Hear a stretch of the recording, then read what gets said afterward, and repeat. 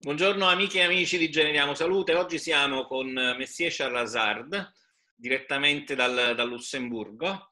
Eh, Messie Charrazard è l'amministratore delegato della Royal, che è un'azienda che ha avuto origini familiari, è nata grazie allo sforzo, allo sforzo di Madame Francine Hazard e dei figli eh, Charles e Pierre, oltre che chiaramente al uh, Papa Michel ed è nata nel 1994. Da lì si è sviluppata con una uh, gamma di, da prima ha cominciato appunto con i prodotti dell'alveare e successivamente uh, con una gamma di um, integratori nutrizionali e poi di fitoderivati. buongiorno Messier Azar. Buongiorno Monsieur Luca.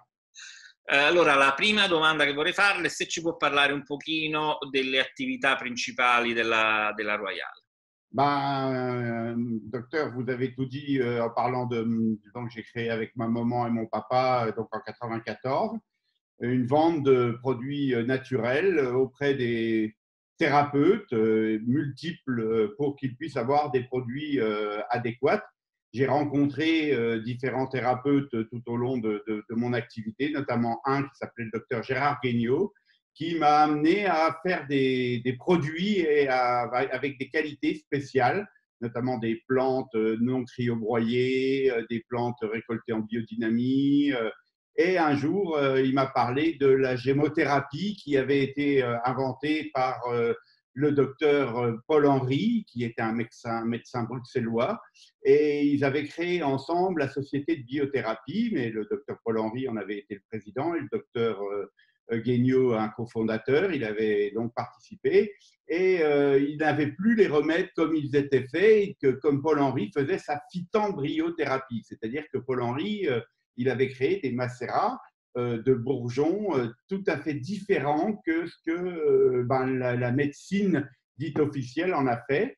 Et donc, grâce à mon métier d'herboriste, en fait, j'ai pu rencontrer des récolteurs, des, des, gens qui faisaient des extraits naturels, et grâce à eux, ben, j'ai mis au point une gamme en 2001-2002 que j'ai commencé à commercialiser en 2003 avec le docteur Guignot, avec qui on a fait des formations.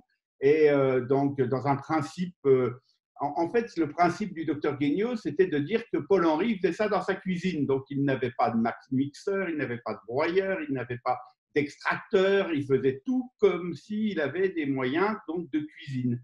Donc, on a euh, repris ces techniques sans broyer les bourgeons, sans les lisser au moment du pressage e surtout une récolte au plus proche de la nature.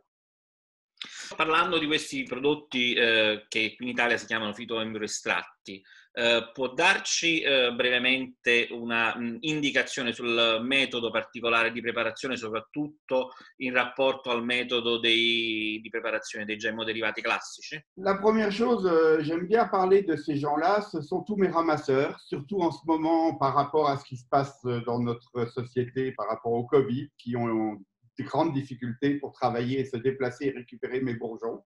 Donc j'ai des ramasseurs professionnels qui sont euh, agréés, assermentés, qui ont été formés en botanique parce que trouver des bourgeons, et je vous assure, euh, c'est pas facile par rapport à la qualité et surtout prendre l'arbre qu'il faut. Parce que par exemple, pour un boulot vériceux et un boulot pubescence, ben, il faut connaître la différence des deux boulots pour pouvoir réussir à en faire un macérat adéquat. Et même le ribes nigrum, il peut être confondu avec énormément d'autres variétés, surtout au moment des bourgeons, parce qu'on n'a pas le fruit, parce qu'on n'a pas la fleur, on a un pied, et il faut le savoir, il faut bien connaître. Donc, ils sont récupérés tous dans le milieu naturel et sauvage, et quelques-uns en culture, comme les radicelles de seigle ou de maïs, parce que bah, ça, on n'a pas en sauvage.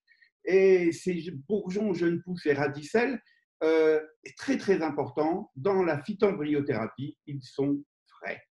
On les récolte, on les transporte, et en ce moment, c'est pas facile, on les reçoit dans notre, dans notre. Avant, je les recevais chez un extracteur, maintenant, je le fais chez moi. Je reçois et ces bourgeons sont mis à macérer le plus rapidement possible après une identification euh, organoleptique et plus ou moins chimique pour certains pour être sûr que ce soit la bonne variété. Et ça, c'est très très important, cette étape-là. Et aujourd'hui, euh, je remercie tous ces gens parce que par rapport à ce qu'on vit avec le Covid, bah, ils travaillent de façon exceptionnelle. Et je vais avoir des produits l'année prochaine grâce à leur ténacité et à leur courage d'aller euh, récolter les bourgeons malgré toutes les contraintes qu'ils peuvent avoir. Ça, c'est une chose auquel je veux aujourd'hui euh, bien, bien parler. La grande différence par rapport à la, à, la technique qu'on va appeler gémothérapie, qui a été inventée donc par Max Teto, c'est que dans le livre là de Paul Henry, il décrit exactement une macération totalement différente, c'est qu'il utilise de l'eau, de l'alcool et de la glycérine. Il a mis un quelques, il a commencé par une alcoolature, de l'eau et de l'alcool. Il a mis après un peu de glycérine et puis il a rajouté. Mais il a toujours privilégié la présence de l'eau qu'il considérait comme un vecteur d'information et d'énergie du bourgeon. Alors que dans la technique dite de gémothérapie que Max Teto a mis au point par Delizos, il a retiré l'eau. On ne sait pas pourquoi il a retiré l'eau. Il fait un macérat dans de l'alcool et de la glycérine et il n'y a plus l'eau. Et c'est très très important cette présence de l'eau. On met un tiers d'alcool, un tiers de glycérine et un tiers d'eau. Et on va avoir comme ça, dans ces trois solvants différents, on va retrouver ce qu'on va appeler un macérat concentré. Ce n'est pas le macérat mère que nous avons dans la gémothérapie, puisque le macérat mère, c'est de l'alcool et de la glycérine. Donc nous, on va l'appeler un macérat concentré de filles, de bourgeons, de radicelles, de jeunes pousses.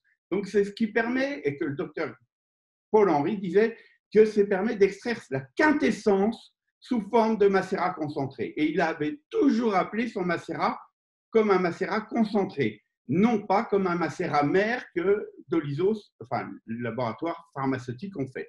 Donc ça, c'est très important de comprendre ça parce que grâce à ça, nous avons des bourgeons frais, récoltés de la bonne manière. Nous avons des bourgeons qui ne sont pas broyés. Et ça, le docteur Guignot et le docteur euh, Paul-Henri y tenaient énormément. Alors ça, ça n'a pas été noté dans les, dans, les, dans, les, dans, les, dans, les, dans les descriptions de Paul-Henri, mais Paul-Henri ne broyait pas ses bourgeons parce que pour lui, broyer, ça, bon, c'est sûr que broyer, vous augmentez la surface de contact avec le solvant, mais vous perdez toute cette énergie du vivant que le bourgeon, parce que quand on le met en frais dans son solvant, ben, il vit encore, quoi, alors qu'on l'a tué avant. Donc on a le principe de vie.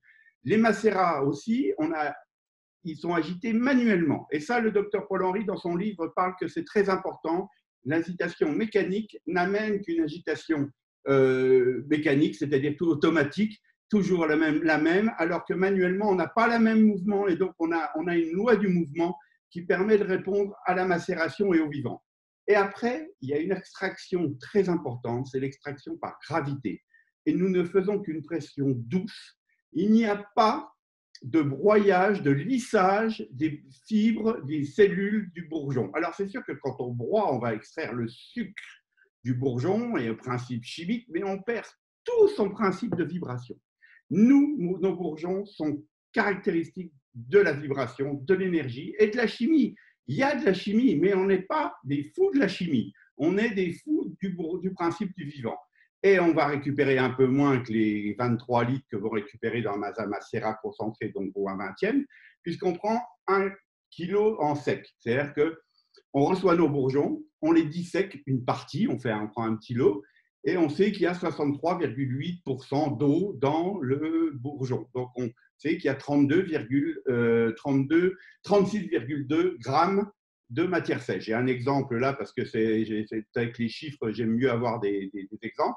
Donc on va faire le rapport pour trouver 1 kg en poids sec, c'est-à-dire qu'il faut 2,777 kg de bourgeon qu'on met à macérer dans euh, un tiers d'alcool, un tiers d'eau, un tiers de, glycérine pour faire 20 kilos.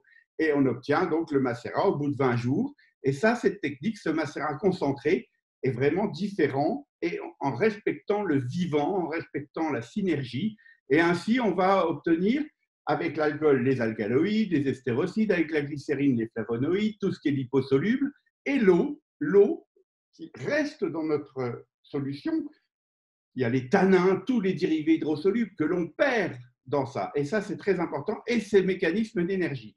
Ce qui va faire que nos bourgeons vont euh, entrer dans un système différent de l'application, et notamment que vous retrouvez dans le livre du docteur Guignot et du docteur Ledoux, euh, qui a été traduit en italien, qui a été traduit en italien, qui est diffusé, je pense, par le laboratoire de Chemol, Je ne sais pas s'il leur en reste parce que ça fait un moment qu'ils n'en ont pas pris.